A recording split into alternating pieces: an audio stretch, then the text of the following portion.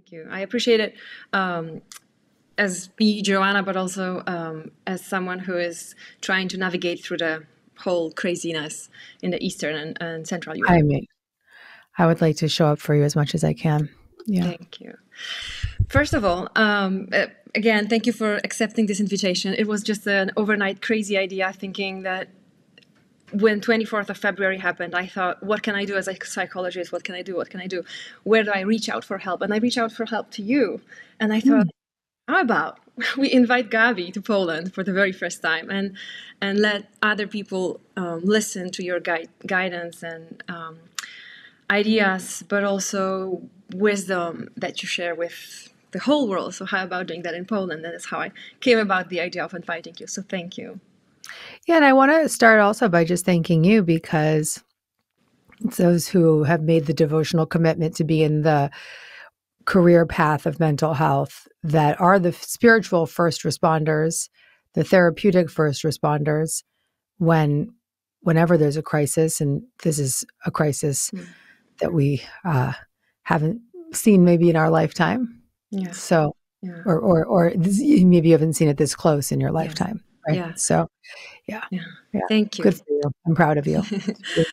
Thank you. Um, uh, just a short story before I jump into the the you know the war zone situation. I came across your work in 2017, and I signed up for a miracle membership, and I came across the meditation that is called All Is Well with Josh that you did with Josh, and I just immediately fell in love. I was in Sweden uh, back then and I was trying to figure out my personal life and I came across this one and this is the meditation that honestly helped me through all ups and downs in my life and also the 24th of February so thank you. Wow oh, I got to go back and resurrect that one. That's a good yeah. one you're right it's a beautiful meditation. Oh I'm so happy to hear that I'm so happy it served you. Yeah. That's, yeah yeah. And I forwarded to everyone like sign up, sign up, sign up. and especially go to um, I think it's April 2017 in the Miracle Membership. Like go there. Wow, look at you! You remember the date. I'm doing my homework. Yeah. oh my god. Well, we're well. I have a promise to you, which is we're really elevating the platform, so it'll be on an app and it will be really easy to access. So, awesome. Yeah. Awesome. Yeah. So going back to the to the um the reason I got the courage to invite you is that when there are millions of immigrants not, you know trying to figure out their life from scratch how can we support them? And also how can spirituality support them and us in helping them? Beautiful question.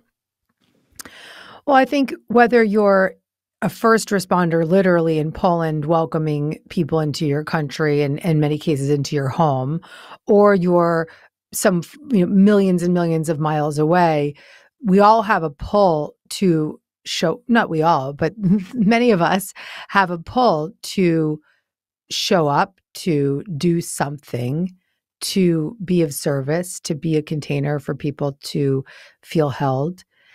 And i believe that when we have these moments of desire to show up we can obviously get shut down when we think we have to do it all but it's really the ripple effect of each individual's commitment to one another that allows us to create long lasting extended change. Mm-hmm. So for myself, I can only speak for myself right now, but I'm not in Poland, but I'm in America wa- watching what's happening in the world, just like everyone else. I got a message from a woman named Alexandra who lives in Kiev, a young woman. She messaged me a few days before the invasion and the war. And she was like, I need a prayer, reach out. And we've been communicating ever since.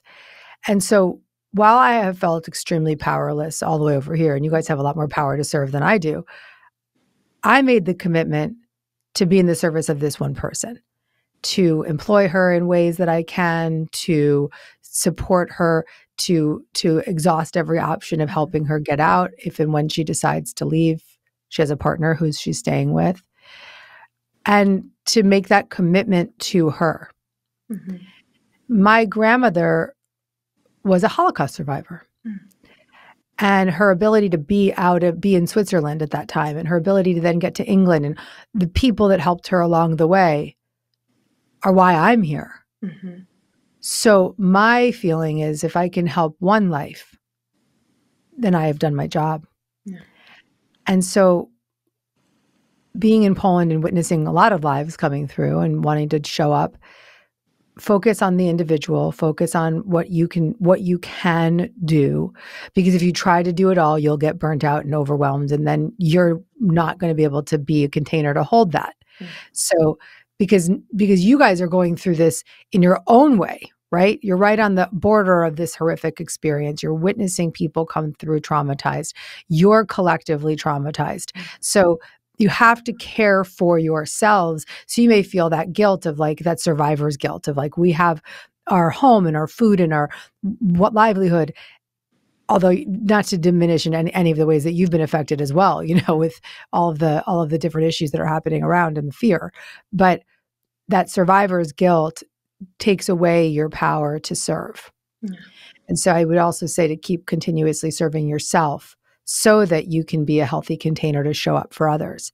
For you specifically, as a psychologist, I would say I would really just get granular here and suggest doing any kind of online meetings or getting people to safely gather in the support of one another, sharing tools as you see I do mm-hmm. for people to help them regulate and reaching out exactly as you have to me and just having conversations like this. You're already doing it. Yeah.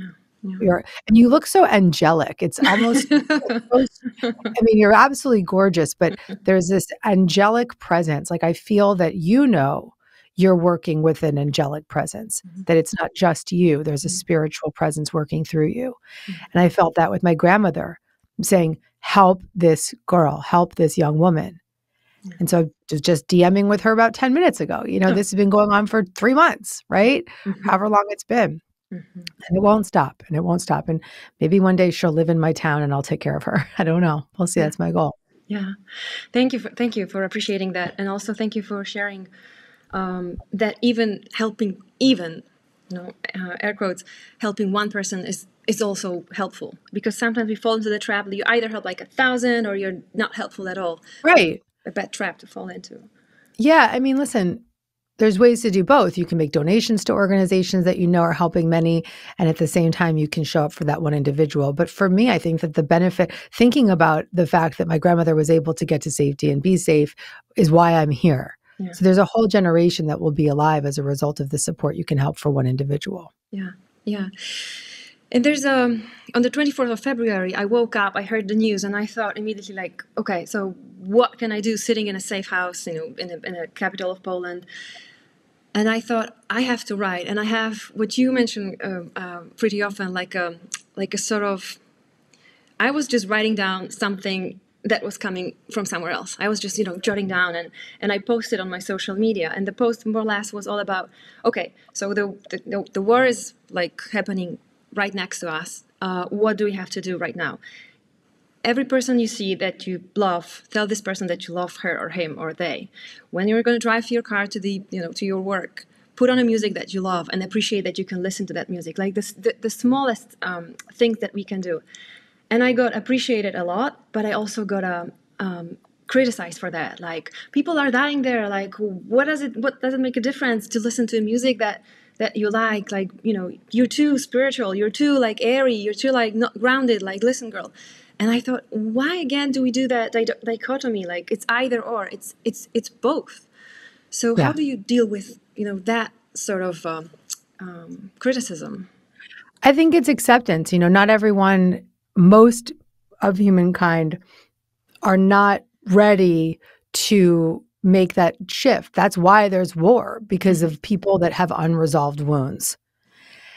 So those of us who have those desires to lean into growth and inspiration and spiritual connection we can't expect some other we can't expect everybody to get on board mm-hmm. but those of us who have the willingness to do it that's on us mm-hmm. we have to raise the vibration and some you know somebody said something to me the other day they said we're talking about a friend of mine who's struggling and i was trying to help them and he, she didn't want any help and she said to me that's her contract Mm-hmm. You have yours.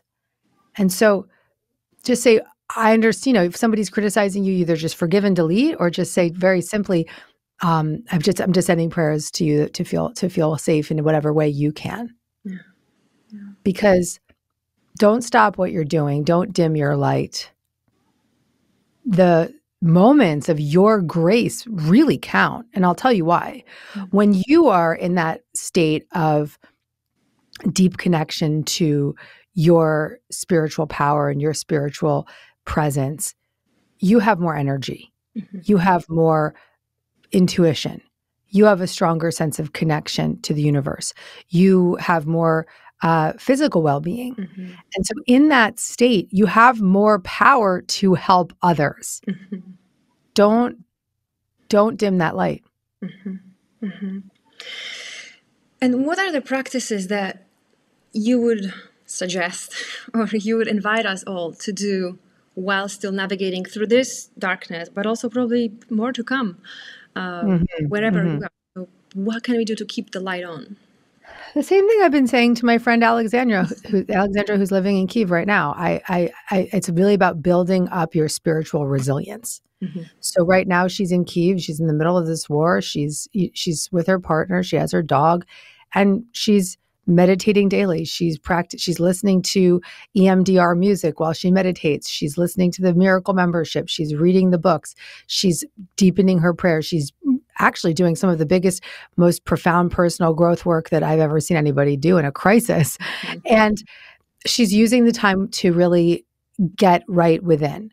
I would always uh, really lean on the the heroes that came before us, Anne Frank, yeah. right? If Anne could think her way out in the midst of hiding, mm-hmm. we can mm-hmm. in our world as well. And I'm not even going to speak for myself because I'm sitting here with all the privileges in the world, uh, and and and still seeing people around me miserable, mm-hmm. right? So, doing whatever we can to create that spiritual resilience. Mm-hmm. That actually translates into physical resilience and physical definitely strength to help others. Yeah, definitely because when we people other people around us are co-regulating with our energy mm-hmm. and when you have the power energy when you have the energy of light when you have the energy of grace it's actually very important for you to be boundaried so you don't pick up the the energy that's not that frequency but also to be that presence in that scenario with the other. Mm-hmm. So I liken it to a child, to being with a baby, a little little child. Your presence, or even my kittens, right? My presence can dictate the whole energy of the room. And so they're regulating off of my presence. But they're not taking anything from me. They're just receiving the benefit of my presence. Mm-hmm. And so don't ever underestimate that. Mm-hmm. And when we are surrounded with darkness, because now we talk about war, but there are still like the regular things happening. People, you know, are get sick, they die, they divorce, they they you know have to move, leave their houses. Not only Ukraine, but all around the world. Maybe it's a it's a big question, but how to not lose hope in humanity, in in the goodness in the world? Because it's easy to do it. Like like there's mm-hmm. so many things happening around the world that mm-hmm. think, oh, we're just you know moving downwards. Mm-hmm. Yeah. We can't lose hope in humanity. That's what we, that's what we've got. Hope is what we've got. We can also not override the reality of what's happening around us and pretend like it's we can't spiritually whitewash it, right? Like, oh, that didn't happen.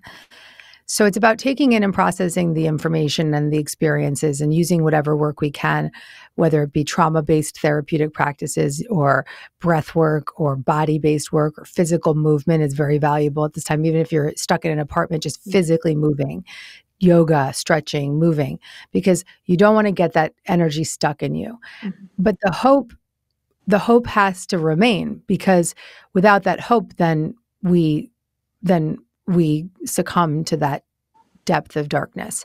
So we must, for our own well being and for the well being of the world, maintain that hope. And the way to stay connected to hope is to to to to redirect your vision, your view.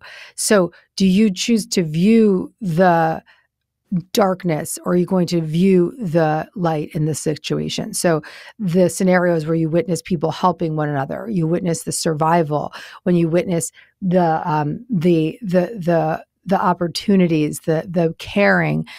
When 9-11 happened in the united states i walked around with this one there's two lenses i could have walked the streets with the fear lens which was there of course but i worked through it and continued to daily but this lens of just witnessing humanity and its greatness, right? witnessing people who never would have communicated before, communicating, people, witnessing cab drivers pick homeless people up off the street and drive them uptown, witnessing just carrying people around. I lived in downtown Manhattan. So just seeing that uh, true humanity mm-hmm. and to do your part to stay in that vision forever, not just for a period of time.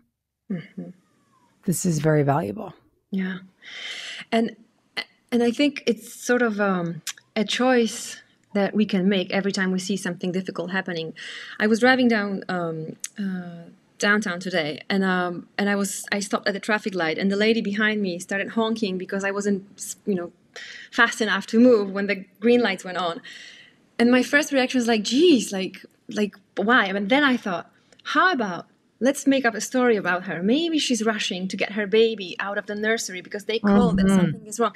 And it sort of like shifted my energy, like compassion. Okay, I'll speed up. If she's in hurry, then I'll speed up. And it's all about the the, the second that I make that choice. That's exactly. I, you're just you're extraordinary. I adore you. I can't wait to be friends with you. I hope to visit you in person. uh, that's exactly right. It's recognizing that we're all suffering even the p- worst people in the world are suffering and they're suffering most mm-hmm. the suffering is is a collective experience mm-hmm. and when we witness people what i often do is if i'm around someone who is having a bad attitude i just double down with kindness yes. just like you are you look beautiful today you know and i mean it i'm not bullshitting them but i really i double down with kindness mm-hmm. Mm-hmm. I go. Because what do they need then? You know, they need you it, even more than the the, the happy ones. right. Um, I was I, I admire your relationship, if I may say so, with Wayne Dyer and everything you know he did in our lives and, and in your life. And there's this one sentence that I go back to like every time darkness you know is creeping into my life. That he said something like, "It's when you change the way you look at things, things around you change." And I think this is sort of a solution or a tool that we can apply every single day, every single day. Yeah. Um, yeah. How do you apply it? Oh well, I always use uh, what are the the eight C's. So I in internal family systems therapy, which you might be familiar with, we lean into how can I see this with curiosity and courage, mm-hmm. compassion, connectedness, creativity, calmness mm-hmm. and and giving ourselves curiosity if i left that one out courage right so just really give ourselves the shift of i want to see it through the lens of that negativity how can i lean into those c qualities mm-hmm. those c qualities are our higher self that's who mm-hmm. we really are that's the mm-hmm. truth of who we are mm-hmm. and i also reach out for the help not only living beauties like you right now, but also um, the the spiritual guide. And actually, uh, one of the meditations I did um, uh, from your toolbox, I discovered the name of my guardian angel, and I was so moved by the name that I even tattooed it over here, so that I I don't know if you can see it. What's the name? It's Nana. Beautiful. And there are some wings around the name. That's yeah. beautiful. I love what you did. That's stunning. so that I, I will never ever forget it. That I'm always there's always some someone behind me. Like like even if if I fall into the trap of you know being down to the earth, thinking, oh my god, I'm all alone. I'm never alone. But I do struggle with.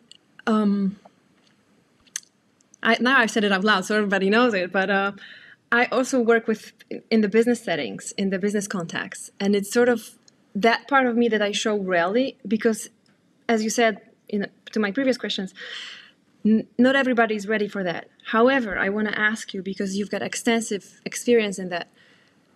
Is there any way I can sort of invite people to reconnect to their guardian angels if they do not believe in it?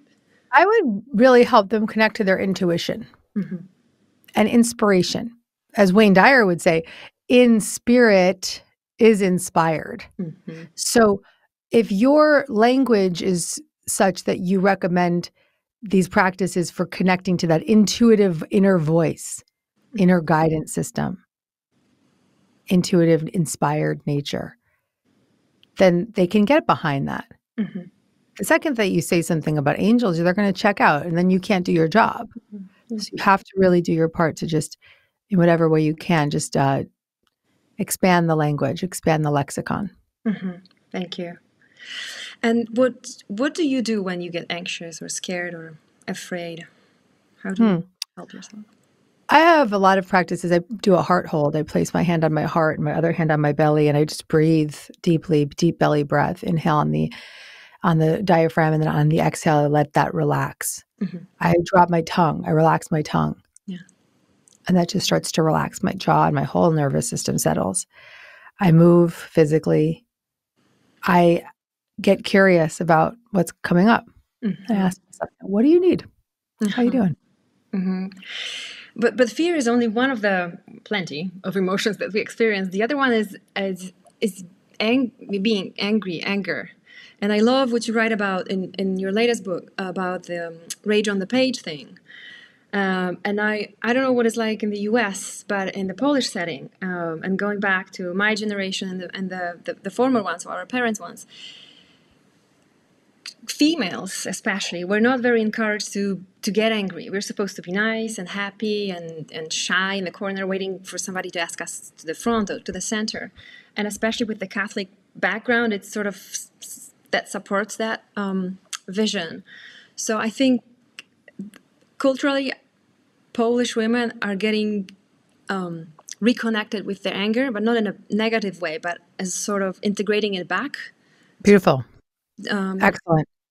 because i do think we need it Oh, yeah. I would recommend that practice to your patients for sure because, uh, but they may be so afraid to rage Mhm. that you may need to even use different language, like, you know, thoughts on the page or something like get out whatever it is that you need to get out. Do it freely, do it effortlessly. Because if, if you don't have a safe place to release it Mhm. audibly or, you know, just speaking, speaking truth, get it out onto the page. And what I love about that also is listening to that binaural music, which I can give you to share with people. It's on my Spotify. And that will help re- reprocess those emotional disturbances while you're in that Mhm. practice of journaling. Hmm And from the spiritual point of view, what is the benefit of integrating anger into our everyday life? Because some people think that anger is on the dark side. I don't agree. Whatever we don't let out stays stuck within. So we will, if we keep, hold on to that anger, it's going to show up in our back pain Mhm. and our migraines and our sleep issues. It's just going to keep showing up. Mhm. Going to keep showing up. And following up on women, um, in when the refugees were coming into Poland, most of them are women and children. And I thought immediately of how about if I step back and look look at the the wave of femininity moving into our country, the Slavic wave. There's something there's a reason for it, I think. So I'm not Wow. sure what the answer is there, but uh any ideas? Wow. Wow. Well, I'm just going to follow what your intuition is and that's stunning this this beautiful wave of feminine coming through. Mhm, How powerful is that? mhm. Wow. I uh I think that it's a beautiful image just for me to hold and I think that you'll be the first to know Mm. what that's for Mhm. and be in the support of it. Mhm. Hopefully um, embracing this the, the the power that it brings into our country because it's all about i think sisterhood and trying to reconnect to women because we were for ages we were like not really encouraged to do that. Um, but now i think we're sort of reconnecting to the idea of being friends to one another and not the the foes. So i think Yes. there's something in it Yeah. Well, in times of crisis, that's often when we start to connect to those who we never otherwise would connect to. A lot of the pretenses dissolve and the boundaries dissolve. The unified desire to to heal comes as a stronger resonance between people than when we're just walking around and everything seems fine. Yeah. Yeah. Yeah, and I think I was um, on the twenty fourth of, of February. I was giving a talk online, um, and I was supposed to do you know something, but then obviously it all shifted. And I think it was one of those experiences when I when I saw they were they, they there were like hundred people on it, and all cameras were on, and sort of like you felt the connection in the time of crisis. We we so wanted to be together that it was one of the and it was a business context, and I and I thought, wow, in the in the in those challenging moments, the masks just just fall off and off. Yes.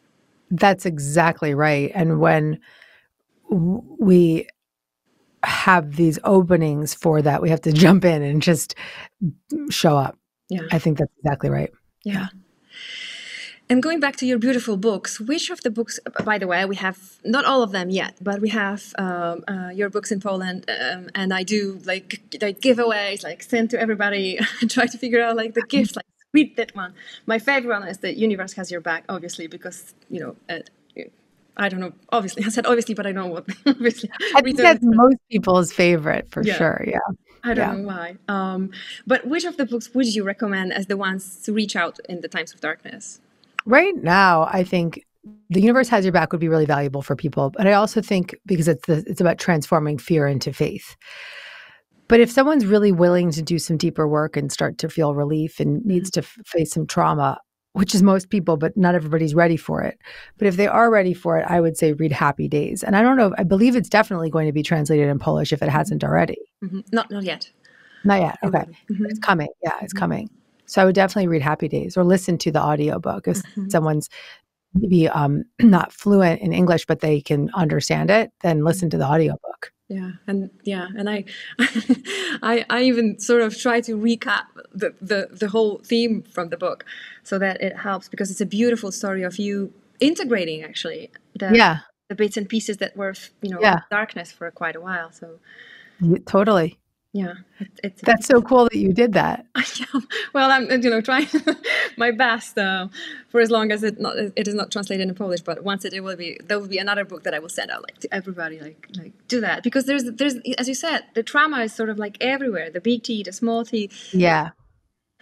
It just it's big. It's everywhere. It's time. People are ready. Mm-hmm. and these conversations have a lot of resonance for many, many more people than otherwise that would have. Yeah, yeah.